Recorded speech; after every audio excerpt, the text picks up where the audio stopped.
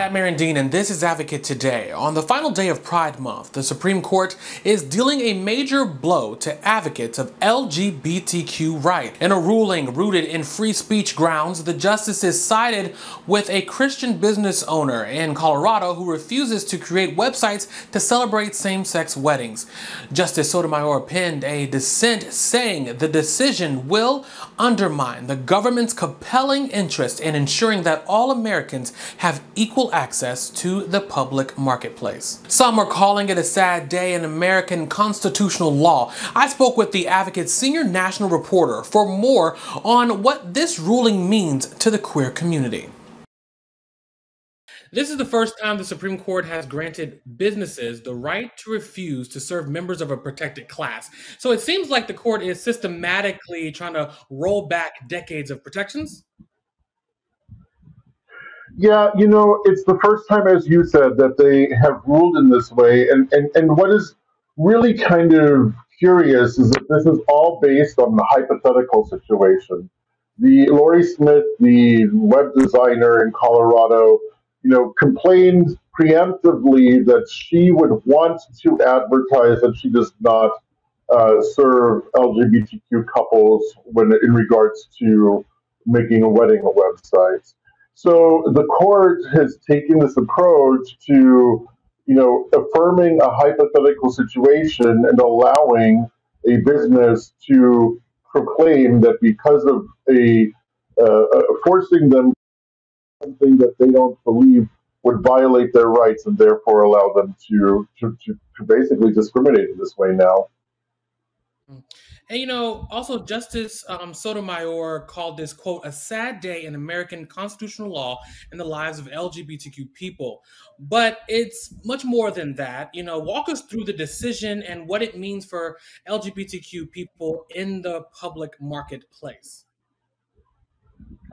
Well, so it's unclear exactly what this will mean because these kinds of decisions, you know, haven't really happened until recently when the ultra conservative majority took over the court.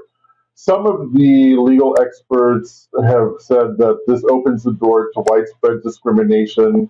Um, others have warned that or cautioned that the ruling uh, is, is fairly narrow in scope. Well, I, I, guess not very narrow, but the scope of it um, is limited to making uh, companies making them say things that they feel would violate their rights, as opposed to saying that, you know, for example, that they don't serve transgender people, period, or they don't serve gay people, period.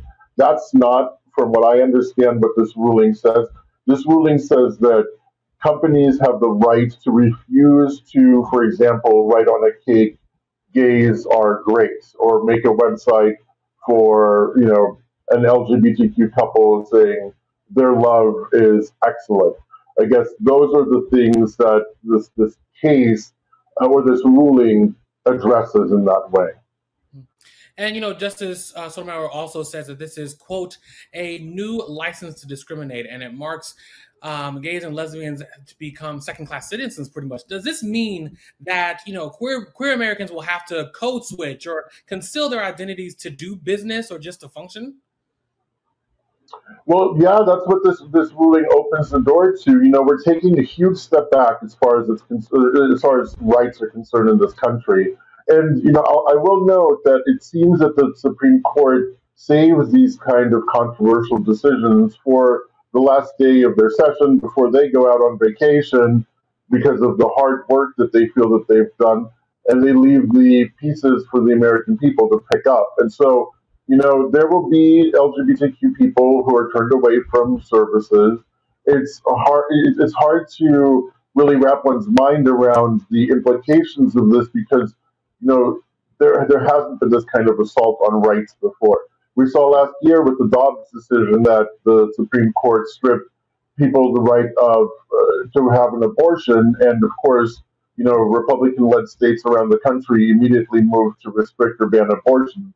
So, you know, while this isn't a decision where states will per se ban anything, what this does is really limit the ability for LGBTQ people to safely, you know, go and demand or access services that other people would have a completely simple time doing.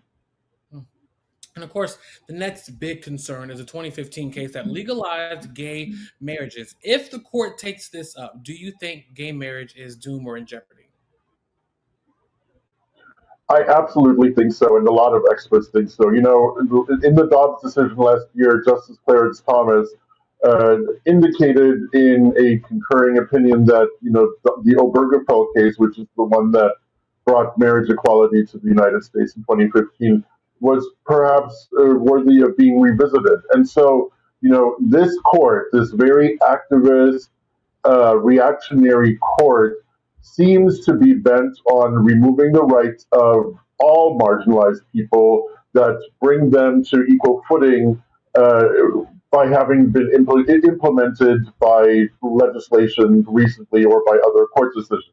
So essentially, what it seems they want to do, because they want to adhere to strict textualism, is bring the country back to when the Constitution was written.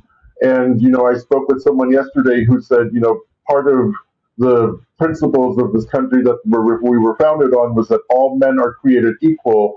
But that that that came out back when you know that didn't include black men, that didn't include women, that just included white men. And it seems that the pendulum is swinging back in such a way that all the hard fight fought wins that everyone has made for civil rights in marginalized communities are being stripped and erased because Republicans just don't want the country to become more progressive. Christopher Wiggins, senior national reporter for The Advocate. Thank you so much. Thank you. Vice President Harris is attending the Essence Festival this weekend in New Orleans. Harris, along with Treasury Secretary Janet Yellen, are attending the festival's Global Black Economic Forum. But during a decision on Thursday, the vice president responded to the Supreme Court's decision on affirmative action, which essentially forced colleges to no longer consider students' race in college applications. And I'm sure that I share the sentiment and the feeling of everyone in this room in terms of the deep um, disappointment. I, I encourage everyone, by the way, to read uh, the, the dissenting opinion of Justice Ketanji Brown Jackson. Mm-hmm. I encourage you to read it because she is a beautiful writer who is compelled by logic and a knowledge of history and a clarity of thinking about where we have been in as a country and where we have the potential to go. Mm-hmm. And what she so rightly has articulated, as I take away from her writing and the way I feel about it, is the disappointment is because this is now a moment where the court has not fully understand the importance of equal opportunity for the people of our country. And it is in so very many ways a denial of opportunity. And the, the, it is a complete misnomer to suggest this is about colorblind, when in fact, it is about being blind to history, being blind to data, being blind to empirical evidence about disparities, being blind to the strength that diversity brings to classrooms, to boardrooms. The decision overturning long-standing precedent that has helped black and Latino students gain access to higher education.